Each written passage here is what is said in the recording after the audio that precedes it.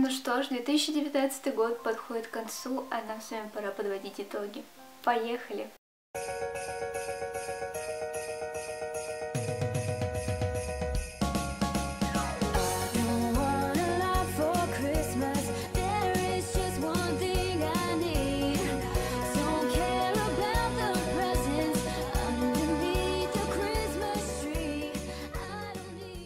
Всем привет, привет, с вами Алина, и сегодня в этом видео я поделюсь теми книжечками, которые просто тронули мое сердечко, те книги, которые стали для меня лучшими в 2019 году. Если смотреть вообще количество книг, которые я прочитала в этом году, их вышло достаточно мало, но Большинство книг, которые прочитала, мне понравились. Конечно, не все зашли в это видео о моих самых любимых книгах в этом году, о моих открытиях, нет, но здесь большинство книг, которые я прочитала. В этом году я открыла для себя несколько авторов, которые стали моими любимыми, которых я теперь просто жить не могу и собираю их все книги.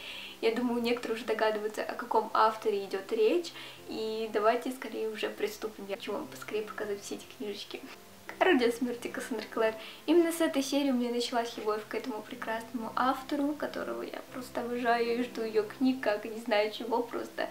У нас Орудие смерти, Город костей, первая книга. Помню, с какими сомнениями я вообще боялась читать эту серию. Наверное, года три я все собиралась, собиралась, собиралась, и вот наконец-то, наконец это случилось. Я взяла эту первую часть, мне было очень страшно, что мне не понравится, что мне не зайдет. Но в итоге эта книга мне настолько сильно понравилась, просто я погрузилась в этот мир, полюбила всех, ну не всех героев, а некоторых героев полюбила. Странное отношение с героями, то есть некоторых героев я в первых книгах ненавидела, а то в пятой, в шестой книге я понимаю, что это теперь мой любимый герой. Вот, «Остановите землю», я сойду. Я быстренько покажу все книжки, чтобы, чтобы вы полюбовались, потому что они очень красивые. Это у нас «Город костей», с чего у нас все начинается, «Город праха», «Город стекла», «Город падших ангелов», «Город потерянных душ», и вот такой вот прекрасный талмудик любименький, это город небесного огня. В этих книгах у меня просто стикеры, стикеры, стикеры, очень много стикеров. Да, я полюбила клеить стикеры в 2019 году, просто залепливала ими все свои любимые моменты. Я очень рада, что я так делала, потому что потом, когда я соскучусь по героям, я могу не перечитывать книги, а перечитывать какие-то свои любимые моменты, и, в принципе, я буду понимать суть, что там происходило, и это очень здорово. На «Орудие смерти» у меня есть отдельный обзор, ссылочку я оставлю внизу в описании, вы можете его посмотреть. Но могу сказать то, что если вы будете спрашивать, как я читала эту серию, потому что у многих возникают такие вопросы, то я сначала читала первые три книги «Орудия смерти», а потом три книги «Адские механизмы». Я очень долго думала, как же мне все-таки сделать. Читала разные отзывы, в интернете смотрела и на ютубе смотрела, кто как делал, но для себя решила сделать именно так, чтобы не ловить спойлеров в шестой части «Орудия смерти», и я вообще ни капельки не пожалела, что так сделала. Мне безумно понравилось так читать, и я всем именно так советую читать. После трех книг «Орудия смерти» я читала «Адские механизмы». «Адские механизмы» — это просто моя любовь. Я просто это мой алмазик, честно, потому что «Орудия смерти» мне даже понравились немножечко, вот, ну вот настолько меньше, чем а, «Адские механизмы». На самом деле сейчас такая счастливая, что рассказываю об этих книгах вообще. Тут знаете, вот когда ты рассказываешь о своих любимых книгах, делишь, когда делюсь им с вами, то я получаю настолько много заряда энергии, настолько такого тепла, не знаю, уюта. Мне так нравится об этом рассказывать, нравится рассказывать о своих любимых книгах. И вот, механический ангел, механический принц и механическая принцесса. Пожалуйста, напишите в комментариях, хотите ли вы обзор на эти книжечки, потому что я бы его сняла. Я уже остыла э, к этим книгам, ну, как именно, мои эмоции подутихли, потому что когда я только прочитала эту серию, я просто, мне метали гром и молнии, я и плакала, и рыдала, и смеялась, в общем, все в этих книгах у меня было. Настолько они такие показались мне эмоциональными, настолько я полюбила героев, вот серьезно. Вот в этих книгах я настолько сильно полюбила героев. Как, наверное, никаких героев ни в каких книгах. Только же мне Кассандра Клэр тут раз разбила сердечко, я просто, просто не могу.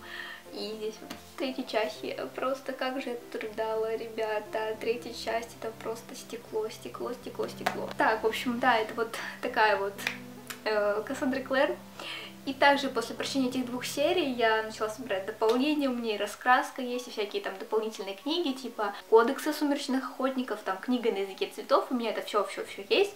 Но из того, что я прочитала, что мне тоже очень понравилось, сейчас я вам покажу. Это у нас больше продолжение орудия смерти идет, но также здесь у нас есть и спойлеры кадские механизмы, поэтому нужно прочитать две серии, прежде чем читать эту.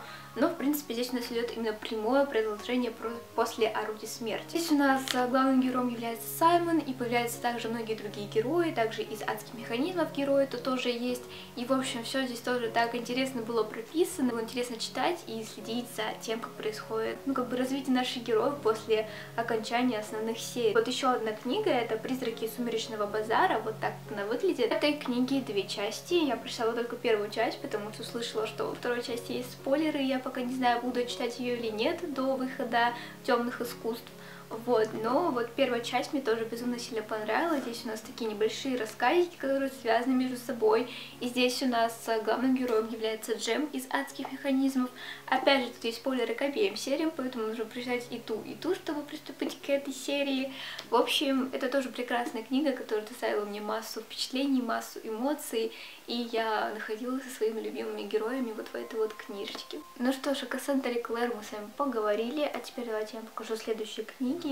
Давайте все-таки, если мы начали серии, давайте сначала покажу серии. Тут их осталось еще две. Первая серия это «Бумажная принцесса Эрин Уат». Это серия, которая тоже такие теплые эмоции в себе несет. Я ее читала летом, и вроде бы вдруг часть читали даже в марафоне 24 часа чтения.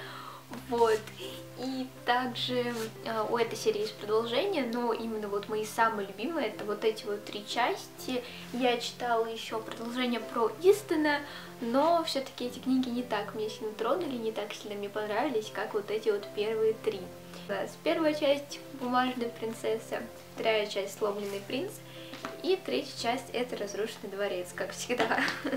стикеры, стикеры, еще раз стикеры, и тут максимально большое количество. Серия мне понравилась, что тут были такие неожиданные повороты сюжета, я вообще не ожидала, знаете, вот просто Эрин Уатт, она настолько интригующе заканчивает свои книги, что ты прочитал одну и такой, о боже мой, так, срочно, срочно заказываю вторую часть, читаю ее, и вот так вот, пока вы не прочитаете всю серию, вот в этой, конечно, книге, в последней тут был такой нормальный конец, но вот в первой, второй книге тут такой был конец, что нужно было сразу же хватать продолжение, и поэтому эти книги мне улетели где-то вообще за три дня, ну, в общем, вот, вот в таких вот временных рамках я прочитала эти книги, очень понравились, очень-очень сильно, и я даже хотела когда снимать обзор на эти книги, я даже не знаю, снимать его или нет, напишите в комментариях, хотите вы или нет, что как-то давно спрашивала, кто-то писал, что надо, но я что-то как-то затянула, и вот уже, наверное, полгода прошло, а обзоры я все-таки так и не сняла, но если вы хотите, то я, конечно, сниму. И вообще, кстати, да, главной героиня мне тут очень нравилась, Элла. Элла, она такая прям боевая. В последнее время я стала замечать, что мне нравятся именно такие главные героини, не которые там ню не разводят, а которые такие прям могут за себя постоять в каких-то ситуациях, они тут себя не глупо. В общем, почему-то вот в последнее время я люблю именно таких главных героинь, и они меня вдохновляют. Серия, о которой я на самом деле думала долго, включать в лучшие книги или не включать, и до сих пор у меня какие-то сомнения есть насчет этой серии, но все-таки я вам ее покажу. Это у нас Алла Зима Марионет. Почему вот у меня такие вот смешные впечатления? Ну, потому что эти книги, они на любителя. Но в этих книгах мне настолько сильно понравилась вот эта вот японская атмосфера, вот эта вот японская мифология, а самое главное, отношения между главными героями, это Эми и Шира, особенно Шира, это просто такой персонаж, который мне запомнился очень долго, и я очень теперь люблю на самом деле этого героя, этого персонажа, и прям вот из мужских героев это, наверное, один из моих любимых теперь персонажей, это именно Шира. Картинки, ну я уже думаю, не буду о них долго рассказывать, я всегда об этом говорю, тут прекрасные картинки. В этих книгах зимняя атмосфера, поэтому не поздно их начать читать, но опять же я во всех видео своих предупреждаю, что эти книги зайдут не всем, они не всем понравятся, здесь японская мифология, которая может некоторых оттолкнуть, но как я говорю, что я не была знакома с японской мифологией вообще никак, Единственное, я смотрела несколько аниме и все, на этом все, как бы, ну да, я много чего не узнала, знаете ли. И э, книги мне было поначалу, конечно, читать сложно, но, знаете, я не могу сказать, что мне читать было сложно, и это как-то меня раздражало. Нет, мне наоборот было интересно смотреть в глоссарии эти термины, что это означает, это все запоминать. И вот, знаете, мне прям даже такое удовольствие несло, мне это было интересно делать, поэтому это, конечно, на любителя, но прочитайте первую часть, я думаю, вы поймете, нравится вам эта серия или не нравится, но лично я бы вам порекомендовала хотя бы просто попробовать, возможно, он тоже зайдет так же, как и мне, потому что Шира, вот, знаете, вот из-за Шира, просто из-за Шира можно прочитать всю эту серию, хотя бы первую часть, потому что он просто, ну, просто милашка хороший, и у него классный характер. Дайте мне, пожалуйста, Шира в реальной жизни. Точные книги, как-то я очень быстро рассказала, но просто большинство серий, так-то книг тут немало, но вот именно из-за того, что серии, как-то мы быстро по ним пробежались, а, давайте покажу вот книжку Роялса Рэйчел Хокинс. Это, знаете, вот прям такая настолько легкая книга, настолько ты с ней отдыхаешь, и она настолько для меня была приятная, поэтому я ее включила в этот список. Она несет в себе какого-то смысла, чего там супер какого-то мира, продуманного сюжета, например, как у Кассандры Клэр. Нет, но книга настолько мне принесла удовольствие, настолько она мне зашла, именно в то время, когда я ее читала, настолько она меня прям затронула. Повторяюсь во всех своих видео, что я обожаю атмосферу замков, атмосферу принцесс, принцев и так далее, а в этой книге именно такая атмосфера, она, возможно, не прям именно вот наша главная героиня, она не принцесса, она сестра принцессы. Ну, вот вся атмосфера такая, знаете, прикольная, вроде бы, знаете, вот вы читаете, вы тоже там не принцессы, но побываете вот в этом всем атмосфере, вот в этой вот всей атмосфере платьев, замков. Штучка есть это почувствовать себя приглашенной на королевское бракосочетание. И это вот серьезно, так вот серьезно, если вы будете читать эту книгу, вы себя именно почувствуете таким вот гостем, подругой главной героини, и просто вот такие вот у меня теплые ощущения от этой книги, прям вот Прям вот очень я ее люблю, и да, она, возможно, прям такая летняя, яркая, но я ее прочитала, получается, зимой, нет, не зимой, я прочитала в конце ноября, вот, но все равно такая, знаете, здесь классная атмосфера, которая подняла мне настроение и вот спасла от учебы. Следующая книга, она у нас так прям идет на контрасте между этой книгой, прям такой жизнерадостной, можно так сказать, Здесь у нас э, дерево растет в Бруклине, и тут такая атмосферная обложка, она настолько, вообще вся книга атмосферная. И я, когда снимала для вас э, читательский влог, я говорила, что все, эта книга будет любимой, потому что она мне так нравится, она меня так поразила, и бам-бам-бам, у меня столько было эмоций, и да, эта книга вошла в любимую, потому что, ну, эта книга, она для меня прекрасная, она мне понравилось тем, что здесь у нас описывается детство нашей главной героини Фрэнси и описываются просто все события, которые происходят в ее жизни, и мы учимся на ее ошибках, мы понимаем, что в каких-то моментах мы поступаем неправильно, и Фрэнси это тоже понимает. Когда мы смотрим на какие-то ситуации, например, на те же ссоры с родителями со стороны, и вот это вот настолько все меня тронуло за душу, настолько мне это все понравилось. Мы проживаем просто все события, которые могут только быть, и рождение, и смерть, и унижение, и какие-то достижения, и взлеты, и падения. Нэнси тут находит первую работу, она живет в бедной семье, но семья ее любит, семья у нее хорошая, и поэтому все тут в этой книге такое светлое, но бывают, конечно, такие моменты, когда просто хочется поплакать вместе с этой книгой, потому что описываются такие прям грустные моменты. Но, в общем, знаете, вот эта книга доставила все, весь спектр эмоций, который у меня может быть. Это и радость, и грусть, и печаль, и когда я переживала за Фрэнси, и когда я просто восхищалась Фрэнси, когда меня Фрэнси бесила, в общем, все, все, все, все, все вот в этой книге есть. Поэтому, если вы не читали эту книгу, я настоятельно советую вам прочитать. Особенно, если вам до 18 лет, то просто прочитайте эту книгу, и мне кажется, она вам понравится. Я так люблю эту книгу. Так, ладно, давайте приступать к следующей. Осталась у нас последняя книга, которая войдет в список лучших книг за 2019 год. Это Диана Сеттерфилд и ее «Пока течет река». Эту книгу я прочитала на протяжении декабря. Она у меня, знаете, в такое сложное время сессии досталась.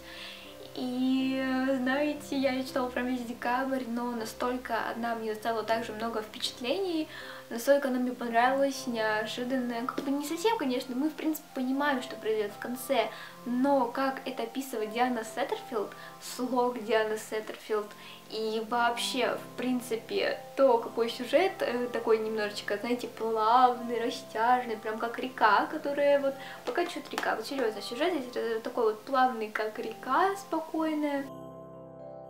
Я не всегда такое люблю в книгах, но вот именно Диана Сеттерфилд это так преподносит, что несмотря на такой, вы знаете, плавно развивающий сюжет, вам читать очень интересно, и вы ждете, что там будет дальше.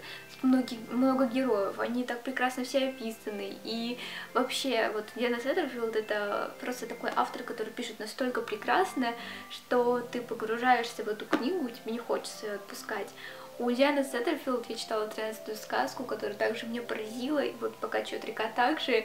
Еще у Дианы Сеттерфилд еще есть какая-то одна книга, и вот я не знаю, читать ее или не читать, но вот пока чет река мне тоже безумно сильно понравилась. Что ж, а на этом было все мое видео, надеюсь, вам понравились книжки, которые я сегодня показала, потому что я очень люблю данные книги, поэтому делюсь ими с вами. И, в общем, вот такие прекрасные итоги у меня получились. Я просто очень довольна, то, что в этом году я нашла столько классных, столько, настолько много интересных книг, открыла для себя множество классных авторов, которые теперь очень сильно люблю. А еще напишите в комментариях, если у вас новогоднее настроение, потому что то, что сейчас у нас происходит на улице, это просто кошмар. У нас ливни, дожди, ветер и, в общем, все-все-все не новогоднее, но я хоть как-то пытаюсь создать эту новогоднюю атмосферу, надеюсь, меня это получается. Всем пока-пока!